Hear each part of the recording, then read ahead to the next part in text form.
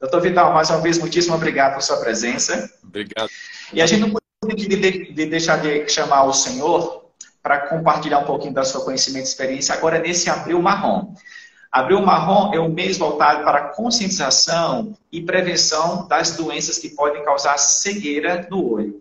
E dentre elas nós temos o glaucoma, que é a principal. Doutor Vital, se eu falar alguma coisa que o senhor não concordar, só pode ficar à vontade para corrigir, tá bom? Pode falar. É a principal causa de cegueira irreversível no mundo. Daí a importância da gente tratar com a maior seriedade possível desse, uh, desse tema e aproveitar, claro, as redes sociais para a gente divulgar essa informação.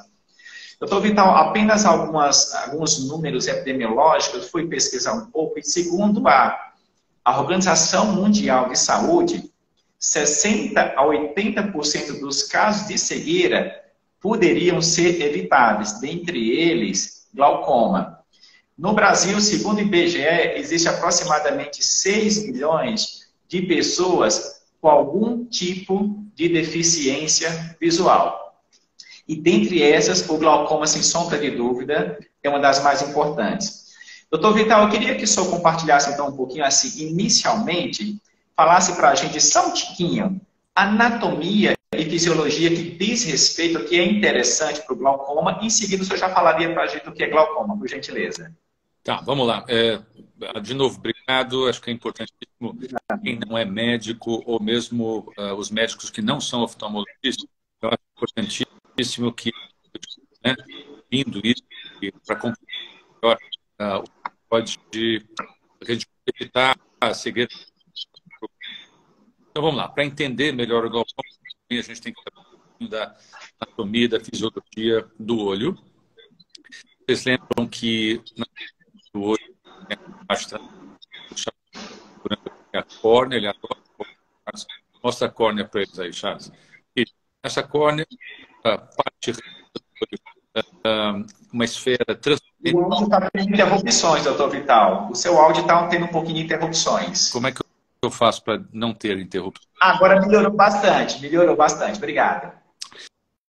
Então, essa córnea, essa transparente, ela é uh, importante para o olho, né? A luz passa através dessa córnea, passa depois através da pupila, que é aquele buraquinho no centro da íris, a íris é esse colorido do olho, passou pela a pupila, vai passar pelo cristalino, que é essa lente que fica atrás da íris, curando, e esse, uh, a luz então, vai focar na retina, vai focar na retina, que é essa camada amarela que recobre todo o olho do centro da retina sai uh, informação visual da retina do cérebro e é feito através do nervo óptico.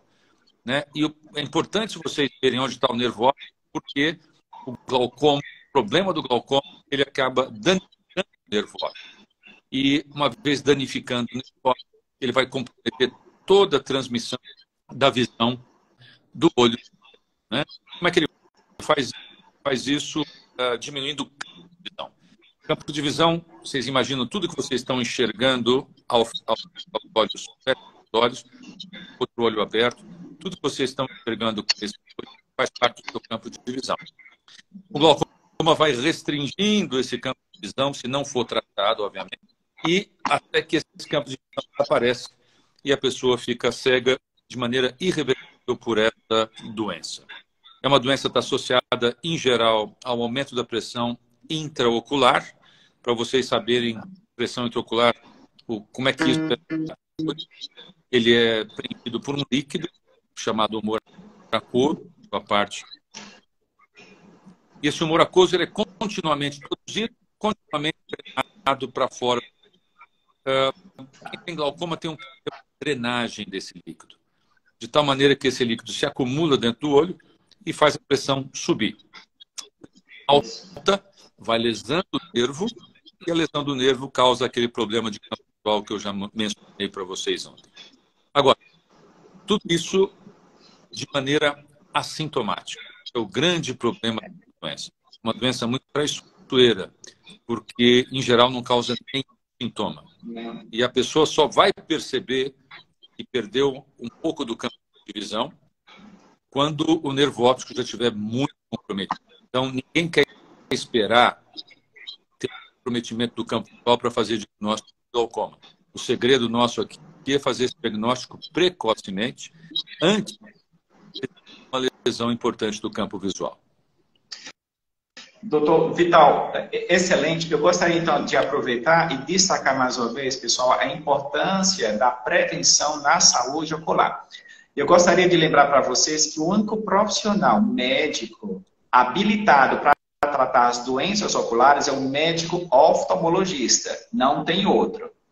E qualquer médico oftalmologista pode, então, tratar doença, por exemplo, do glaucoma. Mas se for alguma coisa um pouco mais complicada, que pode acontecer, a melhor opção realmente é você enviar para um médico oftalmologista com especialização em glaucoma. Essa é a pessoa mais habilitada para tratar dessa doença. Doutor Paulino chamou a atenção, é uma doença traiçoeira, é uma doença silenciosa. Aquele que ele mostrou, a tendência nossa é perder o nosso campo periférico, a gente quase não dá importância, não tem uma percepção muito nítida dessa perda no início, e a gente vai perdendo a visão de forma irreversível. E o que, é que a gente faz? Prevenção. Pelo menos uma vez por ano, passe em consulta com o seu médico oftalmologista, faça exame de rotina, lembre para o seu médico para medir a pressão do olho, dilatar as vias, fazer exame de fundo de olho, isso é fundamental. Doutor Vital, quando a gente fala em glaucoma, existem diferentes tipos de glaucoma, né? Isso a gente vai abordar, claro, o glaucoma mais frequente. Mas você só poderia mencionar para a gente quais são os tipos mais comuns de glaucoma, por gentileza? Com prazer, com prazer, Charles. Deixa eu complementar uma coisa que você falou claro. importantíssima, que é o seguinte: é, todos, é, a partir dos 40 anos, devem comparecer uma vez ao ano. Principalmente, agora eu quero citar de maneira é, mais empática alguns grupos okay. de pessoas que têm um risco ainda maior de ter. Quais são? Isso. Né? Isso. Uh, os negros uh, têm uma chance maior de ter glaucoma, é maior em negros. E também um pouco mais negros, a gente não sabe exatamente por quê. Pessoas míopes, okay. pessoas que têm antecedente familiar, pessoas que têm pais ou irmãos é, com glaucoma devem procurar oftalmologista, porque é, pessoas têm maior chance de desenvolver glaucoma. É, e, então, essas pessoas, principalmente, têm que procurar o oftalmologista com frequência para é, diagnosticar o glaucoma que ele quer o mais possível, o tratamento mais possível. Agora eu volto para a sua segunda questão a respeito dos tipos de glaucoma. A gente Isso, perfeito. glaucoma é, de duas maneiras. Primeiro, em relação à causa, a gente divide os glaucomas em dois grupos. Doutor Vital, o seu áudio continua um pouquinho ruim. Só consegue ficar um pouco mais próximo do microfone? Desculpa, tá? Consigo, vamos ver. Agora, melhorou? Melhorou, melhorou. Obrigado. Ótimo. Então, a gente consegue dividir o glaucoma de acordo com a causa em dois grupos. Os grupos, os glaucomas primários são aqueles glaucomas onde a gente não consegue estabelecer a causa dele. A gente não sabe por que aumentou a pressão intraocular naquele paciente. E os glaucomas secundários são aqueles glaucomas causados onde a gente consegue estabelecer uma causa. Né? Por exemplo, glaucoma secundário a trauma, glaucoma secundário a inflamação dentro do olho, que a gente chama de uveíte, uh, glaucoma secundário a uma dispersão de pigmento dentro do olho, que é o que a gente chama de glaucoma pigmentar, glaucoma secundário a proliferação de tecido fibrovascular, que acontece muito no diabetes, a gente chama isso de glaucoma neovascular. Agora, outra classificação, que talvez seja ainda mais importante, é a divisão entre glaucomas de ângulo aberto e glaucomas de ângulo fechado. Os, é importante dizer o que, que é ângulo, né? Ângulo corresponde à região de drenagem do humor aquoso. Por onde que esse humor aquoso, que é produzido dentro do olho, é drenado para fora do olho. Lembra que eu comentei isso com vocês antes? O, o, o moracoso é constantemente produzido, constantemente drenado para fora. Ele é drenado para fora do olho através do ângulo. Se o ângulo tem algum problema de drenagem, a pressão sobe. E aí existem dois, dois tipos de ângulo anatomicamente falando. O ângulo aberto, que é quando a íris não está nem um pouco próxima do ângulo, e o acesso do moracoso, do a esse ângulo é totalmente liberado. E o glaucoma de ângulo fechado, quando a íris está muito próxima do ângulo e dificulta um pouco a passagem de humor aquoso uh, ah, para o ângulo por causa do posicionamento da íris. É fundamental fazer a distinção entre esses dois tipos de glaucoma, porque o tratamento é diferente, uh, a evolução também é um pouco diferente. Tá? No, no glaucoma de ângulo fechado, existe uma indicação clara de se fazer um procedimento a laser, chamado iridotomia, que vai tentar abrir esse ângulo e facilitar a passagem do moracoso uh, até atingir o ângulo e, com isso, sair do olho. Perfeito, doutor Vital. Meu Deus, o tempo não para, doutor Vital. O assunto é tão interessante, a gente percebe seu domínio, sua desenvoltura no assunto, que o tempo passa que a gente nem percebe. Então, a gente vai falar um pouquinho sobre o que é glaucoma, sobre os tipos de glaucoma, sobre o fato da doença ser silenciosa, a gente não perceber.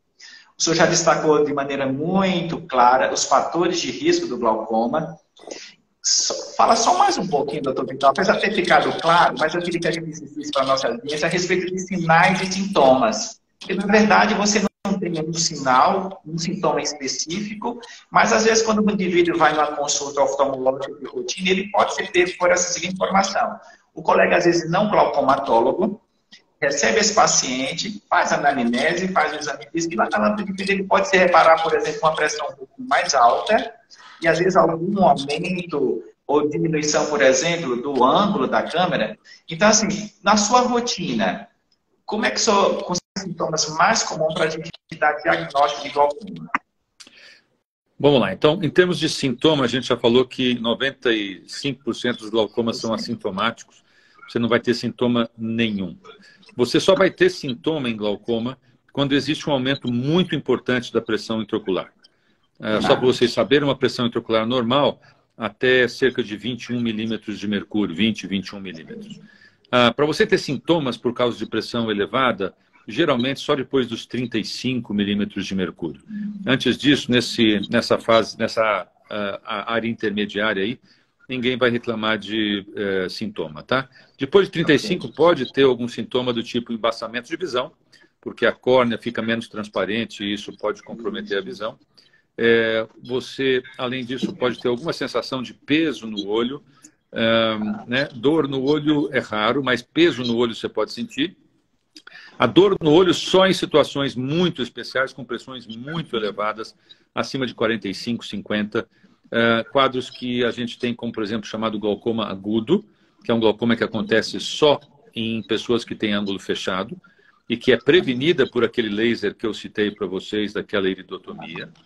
Uh, e também quadros de glaucoma neovascular, que acontecem naqueles pacientes com diabetes, nos pacientes com tromboses na retina. Eles podem desenvolver uma forma muito agressiva de glaucoma com pressões de 50, 60, 70 milímetros de mercúrio. Agora, em termos de sinais, isso é muito mais importante.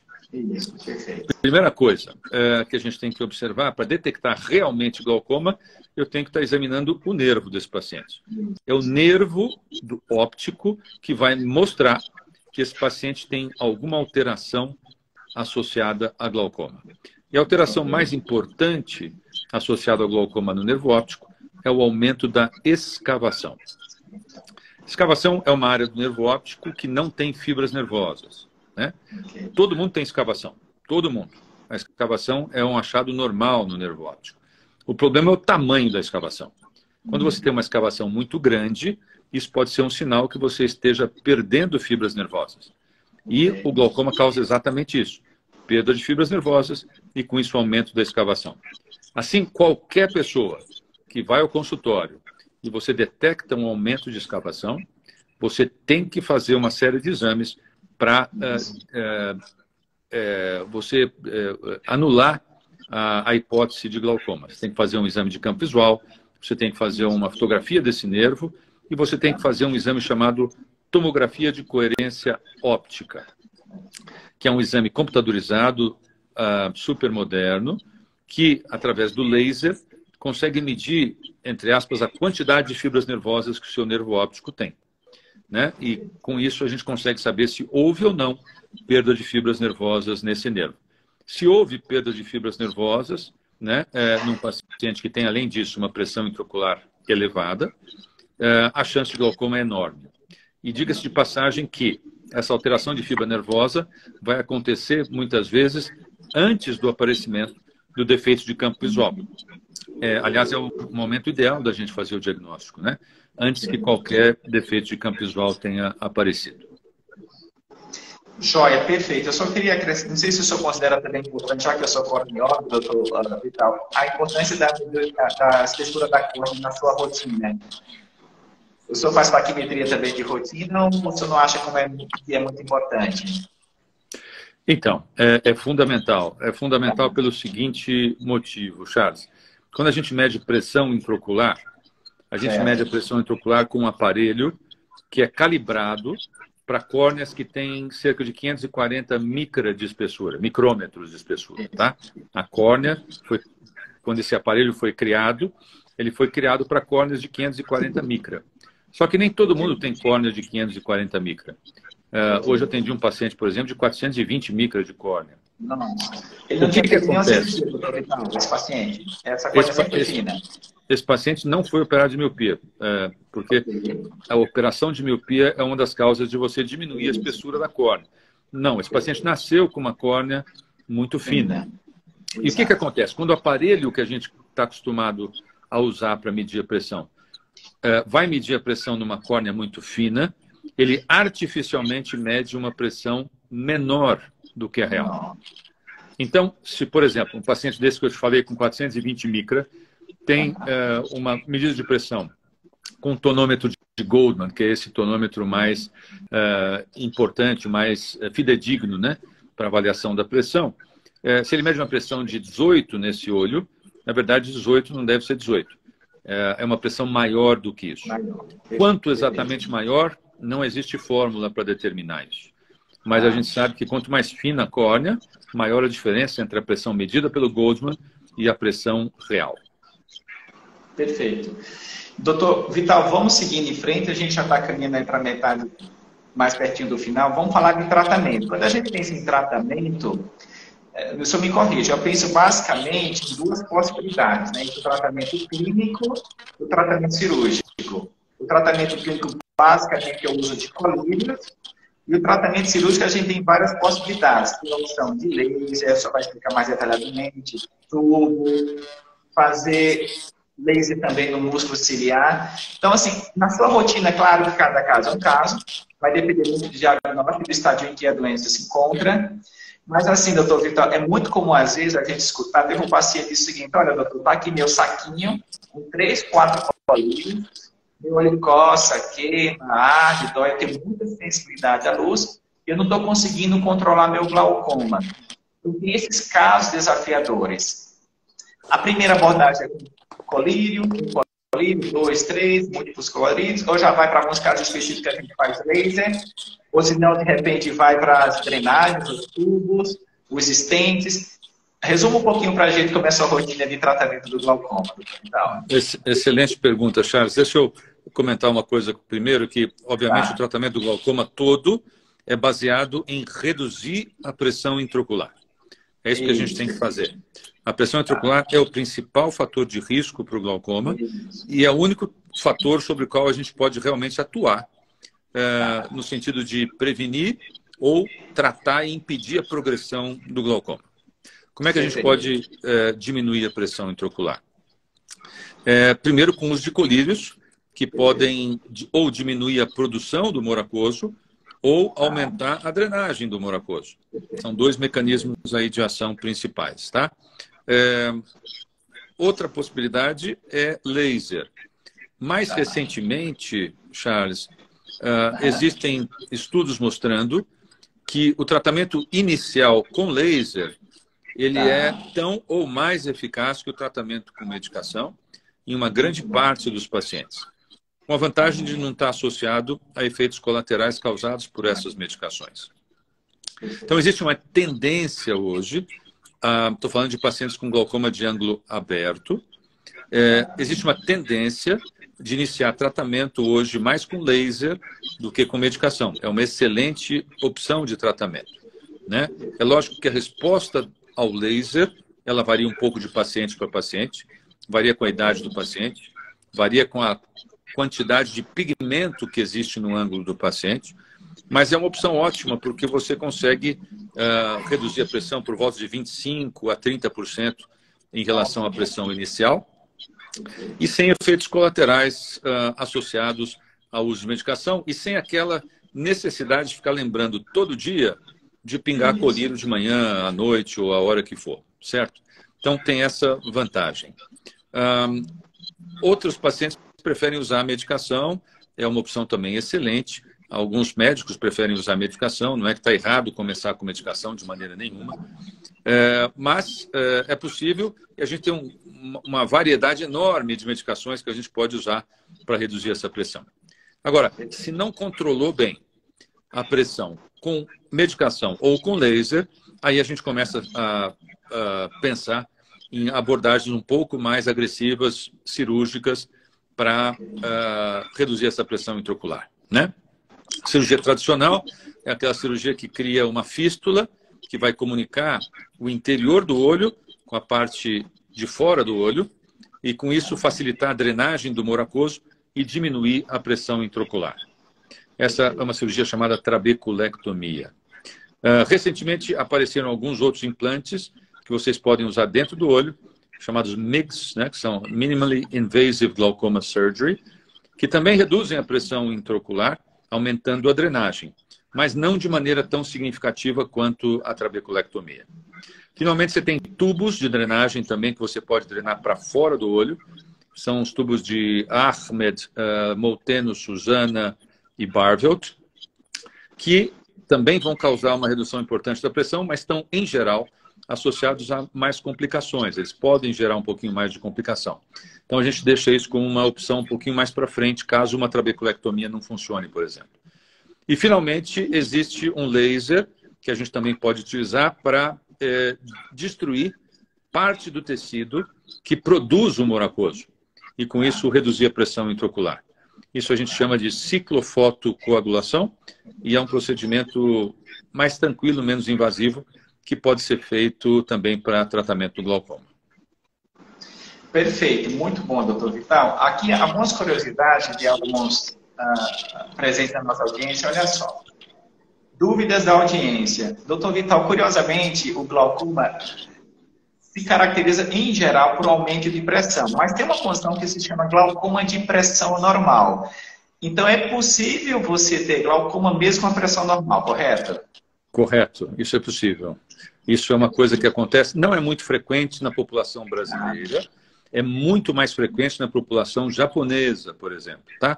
População japonesa, população coreana, eles têm muito mais glaucoma de pressão normal do que a população brasileira. Como é que se faz o diagnóstico? A pressão não vai estar elevada nesse paciente. A única maneira de fazer o diagnóstico é examinando o nervo óptico e fazendo a suspeita de lesão glaucomatosa desse nervo. Por isso a importância de um profissional, de um oftalmologista, que saiba analisar esse nervo óptico de maneira adequada, senão não vai fazer o diagnóstico. Outra curiosidade da audiência, doutor Vital, você tomar corticoide por boca ou pingar corticoide no olho pode favorecer o início de, início de glaucoma ou pode piorar quem já tem glaucoma? Com certeza, existe inclusive um tipo de glaucoma secundário causado ah. por corticoide. É o glaucoma cortisônico, se você usar muito colírio com cortisona, ou eventualmente até tomar muito, muito, muita cortisona via oral, você pode resultar num glaucoma secundário e isso causar aumento de pressão e causar lesão do nervo óptico também. Eu sempre peço para os meus pacientes que têm glaucoma, principalmente de ângulo aberto, a evitar uso de corticoide. Isso não quer dizer que seja proibido. Em algumas situações, o corticoide vai ser necessário e ele vai ser usado. Mas a gente tem que usar com mais cuidado em pacientes com glaucoma. Perfeito. Doutor Vitor, uma curiosidade de outra pessoa da audiência é o seguinte: telas de uma forma geral, computador, celular, tablet, vocês vivem no mundo digital. Isso pode favorecer um início do glaucoma ou piora do glaucoma já pré-existente? Não, isso é, isso é lenda. Não, isso não existe, não é verdade. Uh, nenhuma, nenhum impedimento de usar computador uh, em pacientes que têm glaucoma. A única coisa que usar computador causa, e você sabe bem disso, né, Charles, é o olho ficar seco. Né? Você aumenta a secura do olho porque quando a gente está prestando atenção no computador ou no celular, inconscientemente a gente pisca menos. E isso acaba causando uma secura. A lágrima evapora rápido e você fica com o olho seco. mas para glaucoma, nenhum problema. Tá. Uma última curiosidade da audiência, doutor Vital. Existe alguma maneira de você prevenir o glaucoma com uma alimentação específica, algum tipo de nutriente, ou até mesmo atividade física? Isso é muito recorrente, doutor Vital. Vamos lá. Então, coisas importantes. Prevenção de glaucoma não existe. Não existe. existe prevenção de cegueira para o glaucoma. E o que a gente recomenda é diagnóstico precoce. Tá? Isso é o que a gente consegue fazer. Prevenir glaucoma não dá. O que dá para fazer, isso tem relação com o que você falou no, em pessoas com glaucoma já, a gente sabe que exercício físico aeróbico reduz a pressão intraocular. Então, isso é importante. Outra coisa que a gente descobriu há pouco tempo também, que também reduz a pressão intraocular, é meditação. Meditação reduz a pressão intraocular, um, provavelmente porque a gente também demonstrou que estresse aumenta um pouco a pressão intraocular. Então, a meditação ajuda a você reduzir um pouco a pressão e eu recomendo isso para os meus pacientes também. Em termos de alimentação, as pesquisas ainda estão em andamento. Uh, a gente tem algumas uh, pesquisas mostrando, em termos de vitamina, por exemplo, vitamina B3, uh, tem vários estudos tentando avaliar o impacto de vitamina B3 sobre a progressão da lesão glaucomatosa. Ah, por enquanto, as doses que foram testadas são doses muito altas, que causam algum tipo de efeito colateral, gastrite principalmente, de modo que aos meus pacientes eu ainda não acho que a gente tem bases científicas para recomendar o uso de vitamina B3 para todo e qualquer paciente com glaucoma. Perfeito. Uma última pergunta, doutor Vital. Isso é mais uma curiosidade minha, porque a gente hoje vive no mundo digital, é a verdadeira revolução da informação. Então, muito comum no nosso meio a gente falar de inteligência artificial, Big Data, metaverso. O senhor que é uma referência no Brasil e fora dele, quando o senhor pensa no futuro daqui para frente, o que, que a gente pode imaginar de glaucoma? Seria mais diagnóstico? Seria mais tratamento? A inteligência artificial vai facilitar de alguma forma o diagnóstico e tratamento? Como é que senhor vê, então, o desenvolvimento da tecnologia com o prognóstico da doença do glaucoma? Olha, Charles, em relação à inteligência artificial, a gente tem uma experiência muito grande com isso. eu comecei a trabalhar com o pessoal da engenharia de computação da Poli, da Politécnica da USP, há mais de 10 anos. E a gente tem alguns algoritmos que a gente desenvolveu e publicou, inclusive, mostrando que esses algoritmos são capazes de fazer diagnóstico de glaucoma inicial, não é nem glaucoma final, daqueles fáceis de você fazer o diagnóstico, mas é capaz de fazer diagnóstico de glaucoma inicial tão bem quanto um especialista em glaucoma e melhor do que um oftalmologista geral. Então, eu acredito que a inteligência artificial vai logo, logo, logo nos ajudar a realizar é, diagnóstico de glaucoma mais precocemente, fazer o diagnóstico diferencial naqueles casos onde você, você tem suspeita de glaucoma e não sabe se é ou não é glaucoma. É, isso vai ajudar muito, principalmente em ambientes onde você não consta com um especialista em glaucoma, em ambientes que você tem apenas um oftalmologista geral. Então, isso eu acho que é um futuro já quase presente, quase presente, tá? Uh, em relação ao tratamento, o sonho de todos, isso também acho que vai demorar um pouquinho mais, é você tentar, de alguma maneira, uh, proteger as fibras nervosas e o nervo óptico, impedir a perda dessas fibras nervosas por, uma, por, uma, por um método que não envolva pressão intraocular, por algum tipo de substância que preserve o neurônio de maneira mais eficaz uh, e também que possa, eventualmente, no futuro, até regenerar neurônios que já se perderam. Então, neuroregeneração, neuroproteção é uma outra área da oftalmologia e do, do glaucoma que está muito, muito, muito uh, evoluindo, com várias pesquisas a respeito. Uh, só que essa eu acho que vai demorar um pouquinho mais para a gente ter uma aplicação clínica no nosso dia a dia. Jóia. Doutor Vital, se alguém com algum problema de glaucoma precisar passar em consulta com o senhor, como é que ele faz para passar em consulta com o senhor, doutor Vital? O senhor consegue compartilhar aí suas redes, algum contato, e-mail, alguma coisa do tipo? Olha, é, eu vou sugerir o seguinte. Primeiro, eu, como você já falou, eu sou professor da Unicamp, então eu estou uh, ah, disponível na Unicamp para que as pessoas eventualmente estejam lá. O problema da Unicamp é que você vai ter uma restrição, dependendo do seu CEP, né? É, não é qualquer paciente que entra na Unicamp hoje, é, são apenas centros referenciados que podem fazer você ir para a Unicamp. Né? Agora, é, vocês têm, acho que você compartilhou aí a minha, o meu Instagram com, com todos. Se você não compartilhou, estou te liberando para compartilhar meu Instagram. Eu estou disponível para responder perguntas, dúvidas uh, a respeito do glaucoma que as pessoas eventualmente possam ter. Doutor Vital, gostaria de mais uma vez agradecer por sua disponibilidade, seu tempo. É uma honra para a gente ter o senhor. Obrigado. Ah, compartilhando todo esse conhecimento, sua experiência. O seu, a prestação de serviço longa para a oftalmologia brasileira e a oftalmologia mundial. Muitíssimo obrigado. Isso enriquece bastante e nos estimula para que a gente continue realizando esse trabalho de informar com qualidade, com segurança e com responsabilidade a população a respeito de saúde ocular. Doutor Vital, muito obrigado. Eu que agradeço, Charles. Um abração para vocês. Um abraço a todos que ficaram até agora esperando que eu aparecesse. Eu espero que tenha sido de uh, bom proveito para todos isso que a gente acabou de discutir. Audiência, muitíssimo obrigado. Obrigado pela presença de vocês. Próxima quarta-feira a gente se encontra aqui novamente. Obrigado, doutor Vital. Boa noite. Um abraço. Tchau, pessoal. Um abraço. Tchau, tchau. Obrigado, Vital. Passar bem. Tchau, tchau. Tchau, abraço.